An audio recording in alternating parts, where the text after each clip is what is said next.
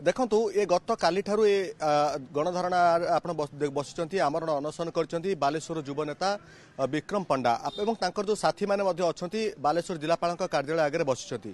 ସବୁଠାରୁ ଗୁରୁତ୍ୱପୂର୍ଣ୍ଣ କଥା ହେଉଛି ଯେ ବାଲେଶ୍ୱର ଗର୍ବ ଏବଂ ଗୌରବ କୁହାଯାଉଥିବା ନବେ ଦଶକରେ ପ୍ରତିଷ୍ଠା ଲାଭ କରିଥିବା ବାଲେଶ୍ୱର ବିର୍ଲା ଟାୟାର୍ସ ଏବଂ ଇସ୍ପାତ ଆଲୋଏସ୍ ଇଏ ହେଉଛି ଯେଉଁଠିକି ହଜାର ହଜାର କର୍ମଚାରୀ ଚାକିରି କରିଥିଲେ ନିଜର ପରିବାର ଚଳାଉଥିଲେ କିନ୍ତୁ দীর্ঘ পাখাপাখি দুইরু তিন বর্ষ হল সম্পূর্ণ রূপে অচল হয়ে এবং সবুঠার বড় গুরুত্বপূর্ণ কথা হচ্ছে যেতবে যুব নেতা এ প্রশ্ন উঠাই জেলাপাল পাখে যে বালেশ্বর দায়িত্ব যে সরকার নিয়ে সে বর্তমান হঠাৎ কুয়াড়ে উভান হয়ে গেলে যেহেতু অন্য সময় অন্য পটে আপনার দেখুবে মেক ইন ওড়শা কার্যক্রম করা যাচ্ছে রাজ্যক কীভাবে ভাবে শিল্প আসব তা কথা আলোচনা করা যাচ্ছে কিন্তু এপর্যন্ত যে শিল্প অচল হয়ে গলা তা কেমি সচল হব তা উপরে কৌশি আদৌ গুরুত্ব দিয়া যাও না ଠିକ୍ ଏହି ସମୟରେ ବିକ୍ରମ ପଣ୍ଡା ବାଲେଶ୍ୱର ଯୁବ ନେତା ଆପଣ ଦେଖୁଥିବେ ଏବଂ ତାଙ୍କର ସହକର୍ମୀମାନେ ବସିଛନ୍ତି।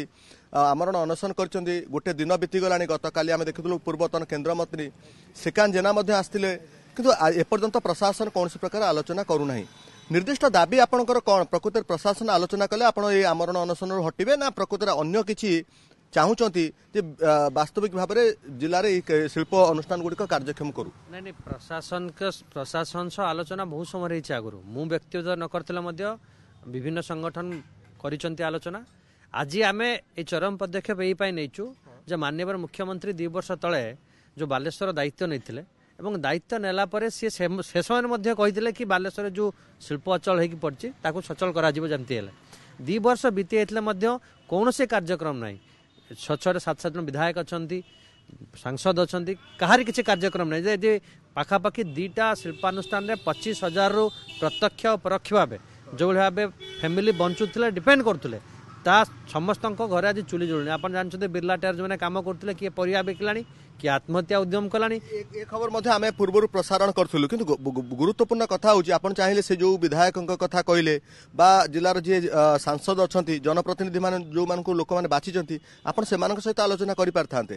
ଦେଖ ବିଧାୟକ ଆଉ ସାଂସଦ ତାଙ୍କର କାର୍ଯ୍ୟକ୍ରମ କ'ଣ? ଯେ ବାଲେଶ୍ୱରକୁ କେ- କେମିତି ବିକାଶ ଦିଗରେ ନିଆଯାଇପାରିବ ଆଜି ପର୍ଯ୍ୟନ୍ତ ଦୁଇଟା କମ୍ପାନୀର ମାଲିକଙ୍କୁ ଡାକିକି ବିଧାୟକ ଆଉ ସାଂସଦ ଏକଜୁଟ ହେଇକି ବସିଲେଣି କି?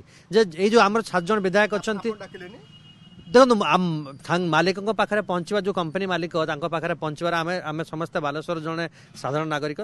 ବିଧାୟକ ମାନଙ୍କର କ୍ଷମତା ଅଛି ସାଂସଦଙ୍କର କ୍ଷମତା ଅଛି ସେମାନେ ସେ କଥା ଆଜି ନା ପାର୍ଲାମେଣ୍ଟରେ ଉଠେଇଲେ ନା ଆସେମ୍ବଲିରେ ଉଠେଇଲେ। ଦୁଇ ବର୍ଷ ଭିତରେ ମୁଖ୍ୟମନ୍ତ୍ରୀ ଗଲା ବର୍ଷ ଆସିଥିଲେ ବିଜୁ ସ୍ୱାସ୍ଥ୍ୟ କାର୍ଡ ବାଣ୍ଟିବା ପାଇଁ।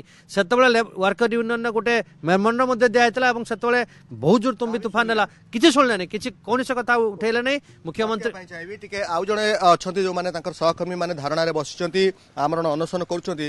ଯେଉଁ କଥା କହିଲେ ଯେ ମୁଖ୍ୟମନ୍ତ୍ରୀ କୌଣସି କଥା ଶୁଣିଲେ ନାହିଁ କର୍ଣ୍ଣପାତ କଲେ ନାହିଁ ବାଲେଶ୍ୱର ଗୋଟେ ପରେ ଗୋଟେ ଶିଳ୍ପ ଅଚଳ ହେବାକୁ ଯାଉଛି ଅନ୍ୟପଟେ ରାଜ୍ୟ ସରକାର ଚିନ୍ତା କରୁଛନ୍ତି ରାଜ୍ୟକୁ କେମିତି ନୂଆ ଶିଳ୍ପ ଆସିବ। ଏଥିରେ ଆପଣ ବିଶ୍ୱାସ ନ କରି ଆଜି ଆମରଣ ଅନଶନ କରିଛନ୍ତି। ବାସ୍ତବିକ ଭାବରେ ଇଏ ଯେଉଁ ଆମରଣ ଅନଶନ କରିଛନ୍ତି ଏହା ସଫଳ ହେବ ନା ନାହିଁ? ଦେଖନ୍ତୁ ସଫଳ ଆମେ କରିବା ନ କରିବା ଆମ ଉପରେ ଡିପେଣ୍ଡ ବାଲେଶ୍ୱରବାସୀ ସଫଳ କରିବେ ଏଇଟା ଆମର ବିଶ୍ୱାସ ଅଛି। ଇଏ ବିକ୍ରମ ପଣ୍ଡାଙ୍କ ନେତୃତ୍ୱରେ ଇଏ ଲଗାତାର ଚାଲିବ ଇଏ ଅମରଣ ଅନଶନ।